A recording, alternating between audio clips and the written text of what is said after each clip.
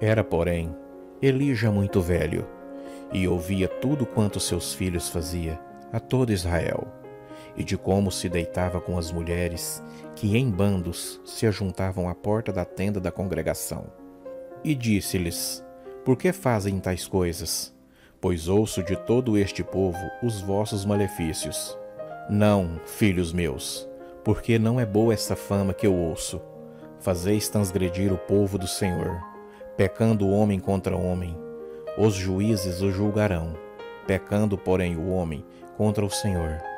Quem rogará por ele? Mas não ouviram a voz de seu pai, porque o Senhor os queria matar. A desobediência dos filhos de Eli à palavra de Deus, somada à negligência de seu pai, provocou uma verdadeira tragédia familiar e nacional à nação de Israel. Eli era um sacerdote israelita por volta do ano de mil a.C., época em que nasceu o profeta Samuel.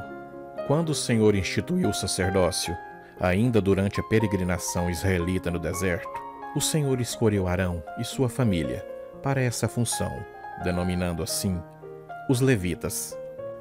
Arão tinha quatro filhos: Nadab, Abiú, Eleazar e Itamar, os quais foram consagrados ao sacerdócio, juntamente com ele, mas os dois primeiros, por terem oferecido fogo estranho diante do Senhor, morreram queimados pelo fogo, que saiu do altar do tabernáculo.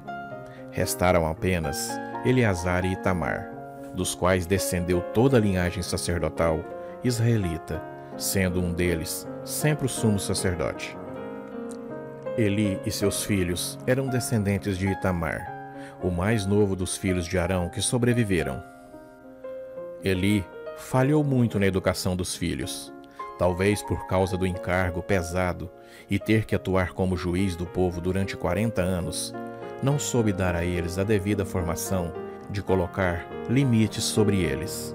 Os filhos de Eli, Ofne e Finéias, eram ímpios e não conheciam o Senhor mas apesar disso, serviam junto com o pai no templo do Senhor, a tenda do tabernáculo, que nessa época estava em Siló.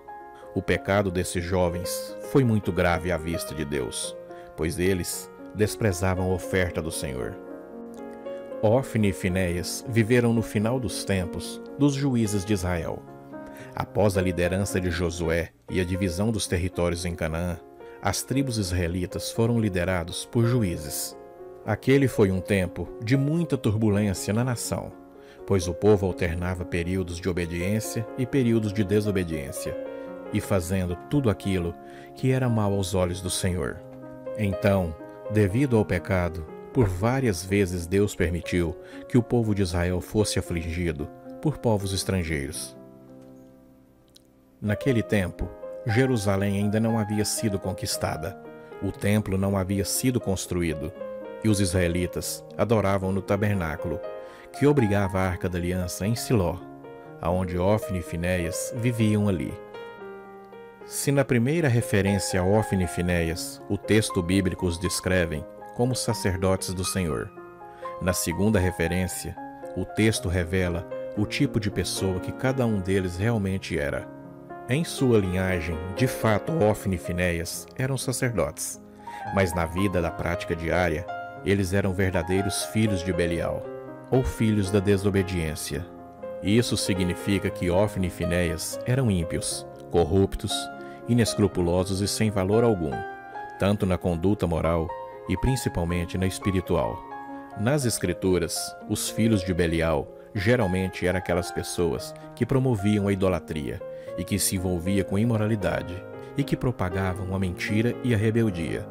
Os filhos de Eli Ofne e Finéias eram tudo isso e mais um pouco.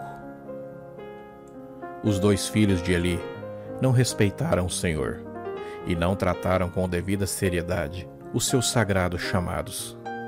O erro deles incluíram abuso na posição para o benefício próprio, ameaças contra as pessoas que aprovavam sua má conduta e a sua imoralidades sexuais. Eles também profanaram o nome do Senhor e desrespeitando a lei dos sacrifícios, tomando para si as melhores partes das carnes, que eram oferecidas pelo povo antes mesmo de serem cozidas ou queimadas. E além disso, eles se deitavam com as mulheres que ministravam à porta da tenda da revelação. Mais tarde, Eli também permitiu que Ofne e Finéias retirassem do santuário a arca da aliança, o símbolo da presença de Deus, e a levassem para o campo de batalha na guerra contra os filisteus, como se fosse um talismã. Desta forma, os dois cometiam um pecado triplo.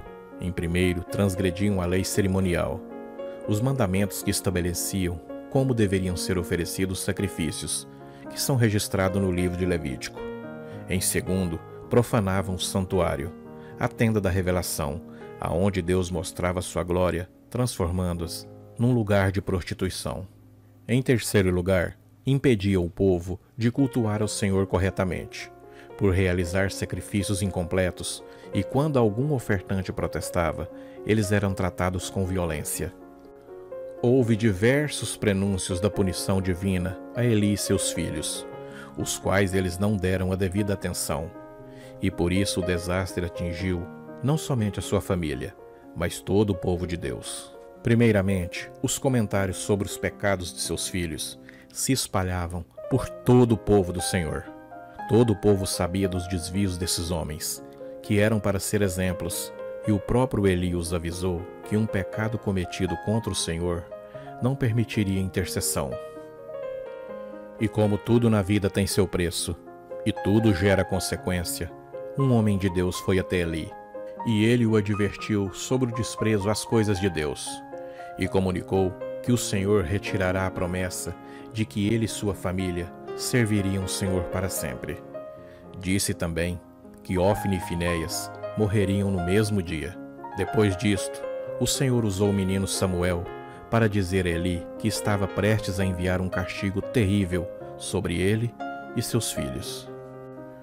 A punição pelos pecados de Eli e sua família aconteceu de duas maneiras: a destruição quase total de uma família sacerdotal e a humilhação de uma nação inteira, cumprindo assim as profecias divinas. Eli e seus filhos e uma de suas noras morreram todos no mesmo dia. Quando Ofne e Finéias cometeram o pecado de retirar a arca da aliança do tabernáculo e a levaram para o campo de batalha, eles morreram ali mesmo. Eli e a mulher de Finéias morreram ao receber a notícia. Mas ainda assim ficaram descendentes e parentes de Eli, aos quais, mais tarde, foram mortos por Saul. Nessa ocasião, o tabernáculo tinha sido transferido para Nob, e o sumo sacerdote era Aimeleque, bisneto de Eli. Por achar que este tinha ajudado a Davi a fugir, Saul mandou matar ele e todos os demais sacerdotes, que foram num total de 85. Só escapou Abiatar, que mais tarde tornou-se sumo sacerdote durante o reinado de Davi, mas foi destituído por Salomão, cumprindo-se a profecia do homem de Deus em Siló. A tragédia também atingiu toda a nação, quando os israelitas foram derrotados pelos filisteus e este tomaram a arca da aliança, símbolo da presença do Senhor no meio do povo.